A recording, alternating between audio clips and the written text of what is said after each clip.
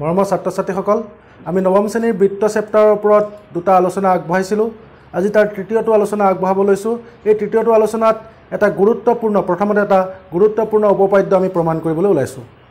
উপপাদ্যটো হ'ল কিতাপৰ দুশ তিনি পৃষ্ঠাত থকা উপপাদ্য টেন পইণ্ট থ্ৰী এটা বৃত্তৰ কেন্দ্ৰৰ পৰা এডাল জীয়ালৈ টনা লম্বই জীয়াডালক সমদ্বিখণ্ডিত কৰে। ধৰো অকেন্দ্ৰযুক্ত বৃত্তটোৰ এ বি এডাল জীয়া।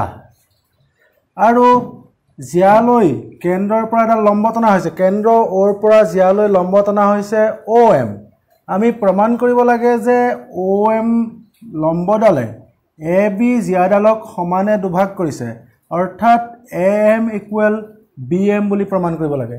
আমি লিখিছোঁ যে ধৰো অ' কেন্দ্ৰযুক্ত বৃত্তৰ এ বি এডাল জীয়া অ' এম লম্ব এই চিনটোৱে লম্ব বুজাইছে। অ' এমডাল এ বিৰ ওপৰত লম্ব বুজাইছে।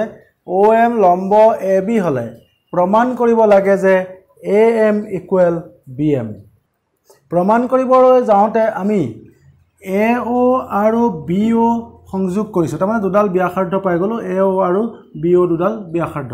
আৰু অংকন বুলি লিখিছোঁ যিটো প্ৰমাণৰ সুবিধাৰ কাৰণে অতিৰিক্তকৈ আঁকি লৈছোঁ সেইটোক অংকন বুলি কোৱা হয়। আৰু তাকে লিখিছোঁ যে এ অ' আৰু বি অ' সংযোগ কৰা হ'ল। সং এ অ' আৰু বি অ' সংযোগ কৰি দিয়াৰ লগে লগে আমি দুটা ত্ৰিভুজ পালোঁ। এটা ত্ৰিভুজৰ নাম হ'ল এ অ' এম আনটো ত্ৰিভুজৰ নাম হ'ল বি অ' এম। এই দুয়োটা ত্ৰিভুজ আমি সৰ্বসম প্ৰমাণ কৰিবলৈ যাম। প্ৰমাণ বুলি লিখিছোঁ যে ত্ৰিভুজ এ অ' এম আৰু ত্ৰিভুজ বি অ' এমত কিবা সমান বস্তু পাইছোঁ নেকি? তেতিয়া আমি দেখিছোঁ যে A M O' angle A M O' আৰু এংগল বি এম অ' দুয়োটা সমান আৰু দুয়োফালে নব্বৈ ডিগ্ৰী।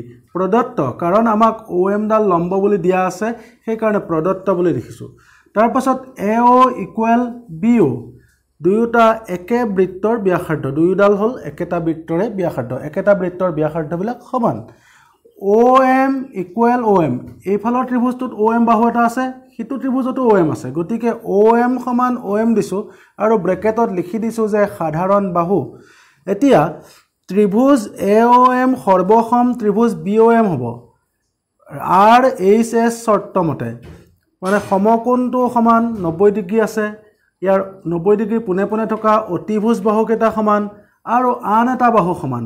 সেইকাৰণে ৰাইট এংগল হাইপটেনাছ ছাইড চৰ্তমতে ত্ৰিভুজ দুটা সৰ্বসম হ'ব আৰু যিহেতু ত্ৰিভুজ দুটা সৰ্বসম আমি A M equal B M দিব পাৰিম। কাৰণ এ এম আৰু বি এম হ'ল ত্ৰিভুজ দুটাৰ অনুৰূপ অংশ আৰু ব্ৰেকেটত লিখি দিছোঁ সেইকাৰণে চি পি চি টি আৰু এইটোৱে প্ৰমাণ কৰিব দিছিলে সেইকাৰণে আমি লিখি দিছোঁ যে প্ৰমাণ কৰা হ'ল।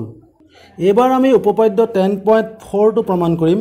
এই উপপাদ্যটো হ'ল এটা বৃত্তৰ কেন্দ্ৰৰ মাজেৰে টনা ৰেখাই এডাল জীয়াক সমদ্বিখণ্ডিত কৰিলে ৰেখাডাল জীয়াডালৰ ওপৰত লম্ব। এই উপপাদ্যটো কিতাপৰ দুশ চাৰি পৃষ্ঠাত আছে। টেন পইণ্ট ফ'ৰ উপপাদ্যটো টেন পইণ্ট থ্ৰীৰ ঠিক বিপৰীত উপপাদ্য বুলি কোৱা হয়। কিয়নো ইয়াত কেন্দ্ৰৰ পৰা এ বিৰ মধ্যবিন্দুলৈ এডাল ৰেখা টনা হৈছে। আৰু আমি দেখুৱাবহে লাগে যে অ' এমডাল এ বিৰ ওপৰত লম্ব বুলি।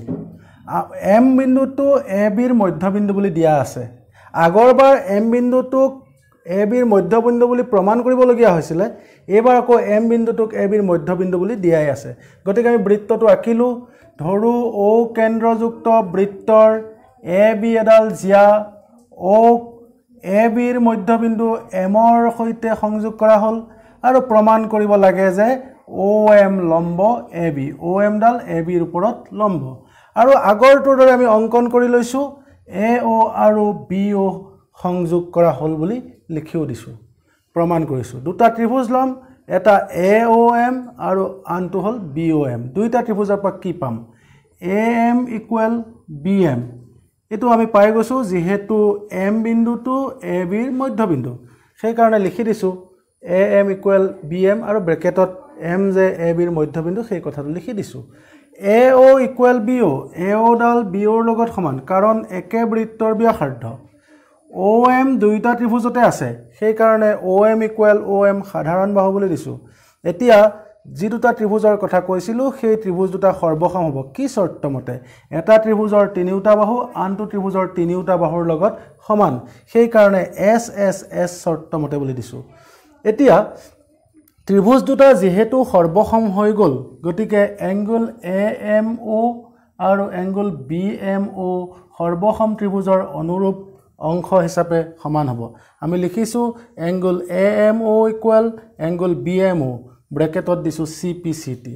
কিন্তু এংগুল এ এম বি এটা সৰল কোণ এই এংগুল এ এম বিটো এটা সৰল কোণ হ'ব। এইখিনি যদি এডাল নাথাকে এম বিটো সৰল কোণ। আনহাতে সৰল কোণৰ মানটো হ'ল এশ আশী ডিগ্ৰী তাৰমানে এংগুল এ এম বি এশ আশী ডিগ্ৰী। ইয়াতে দেখিছোঁ যে এইফালৰ কোণটোৱে এইফালৰ কোণটোৱে সমান বুলি আমি পাইছোঁ। আকৌ এ এম বিক সৰল কোণ বুলি পাইছোঁ। দুয়োটা কোণ মিলি যদি এশ আশী ডিগ্ৰী হয় তেতিয়া এটা কোণৰ জোখ কিমান হ'ব? এটা কোণৰ জোখ হ'ব নব্বৈ ডিগ্ৰী। সেইকাৰণে angle A M O' equal angle B M O' equal ninety degree. যদি এইফালৰ কোণটোও নাইণ্টি ডিগ্ৰী সেইফালৰ কোণটোও নাইণ্টি ডিগ্ৰী তেতিয়াহ'লে অ' এমডাল এ বিৰ ওপৰত লম্ব হ'ব। সেইকাৰণে লিখিছোঁ এতেকে অ' এম লম্ব এ বি আৰু প্ৰমাণ কৰা হ'ল। এইবাৰ আহিছোঁ টেন পইণ্ট থ্ৰী অনুশীলনীৰ প্ৰশ্নাৱলীলৈ। এক নম্বৰত দিছে পৰস্পৰক ছেদ কৰাকৈ আৰু নকৰাকৈ বিভিন্ন বৃত্তৰ জোৰ অংকন কৰা। প্ৰত্যেকযোৰ বৃত্তৰ কিমান সাধাৰণ বিন্দু আছে? সাধাৰণ বিন্দুৰ সৰ্বোচ্চ সংখ্যা কি? আমাক পৰস্পৰ ছেদ কৰাকৈ আৰু নকৰাকৈ বৃত্তৰ জোৰ আঁকিব দিছে। মই এক নম্বৰত এযোৰ বৃত্ত আঁকিছোঁ ইটো বৃত্ত সিটো বৃত্তৰ লগত কোনো টাচ কৰা নাই তাৰমানে ছেদ কৰা নাই। যদি ছেদ কৰা নাই দুইটা বিন্দুৰ দুইটা বৃত্তৰ সাধাৰণ বিন্দু আছে জানো? নাই। তেনেহ'লে ইয়াত সাধাৰণ বিন্দু নাই বুলি লিখিম। দ্বিতীয়তে আন এযোৰ বৃত্ত আঁকিছোঁ দুয়োটা বৃত্তই মাত্ৰ এটা বিন্দুত স্পৰ্শ কৰিছে বুলি ভাবি লৈছোঁ। আৰু এই ক্ষেত্ৰত বৃত্ত দুটাৰ সাধাৰণ বিন্দু এটা। এইবাৰ আন এযোৰ বৃত্ত আঁকিছোঁ। এটা বৃত্তৰ ওপৰতে আন এটা বৃত্ত গৈছে। ইয়াত সাধাৰণ বিন্দু দুটা। তাৰমানে প্ৰথমযোৰ বৃত্তৰ সাধাৰণ বিন্দু নাই দ্বিতীয়যোৰ বৃত্তৰ সাধাৰণ বিন্দু এটা আৰু তৃতীয়যোৰ বৃত্তৰ সাধাৰণ বিন্দু দুটা। এতিয়া ইয়াতকৈ আৰু বেলেগকৈ বৃত্ত আঁকিব পৰা নাযাব। গতিকে সৰ্বোচ্চ সাধাৰণ বিন্দুৰ সংখ্যা সৰ্বোচ্চ সাধাৰণ বিন্দুৰ সংখ্যা সাধাৰণ বিন্দুৰ সংখ্যা দুটা। প্ৰশ্নটোৰ মূল উত্তৰটো এটাই হ'ব যে দুটা দুটা বৃত্ত পৰস্পৰ ছেদ কৰাকৈ আৰু নকৰাকৈ আঁকিলে সৰ্বোচ্চ সাধাৰণ বিন্দুৰ সংখ্যা দুটা হ'ব। বৃত্ত চেপ্টাৰৰ আজিৰ আলোচনা ইমানতে সামৰিছোঁ। আমি পিছৰ আলোচনাত পিছৰ যিবিলাক উপপাদ্য আছে আৰু কেইবাটাও উপপাদ্য আছে আৰু কেইবাটাও অনুশীলনী আছে সেই সকলোবিলাক সমাধান কৰিম। ছাত্ৰ ছাত্ৰীসকলে মাত্ৰ এটা কামেই কৰিব লাগে। মই এতিয়ালৈকে চাৰিটা উপপাদ্য কৰিলোঁ। এই চাৰিটা উপপাদ্য খুব ভালকৈ অনুশীলন কৰক আৰু এইকেইটা তেওঁলোকে যদি খুব ভালকৈ বুজি লয় তেতিয়াহ'লে পিছৰ উপপাদ্যকেইটা আৰু পিছৰ অনুশীলনীৰ সমস্যাবোৰ সমাধান কৰিবলৈ তেওঁলোকৰ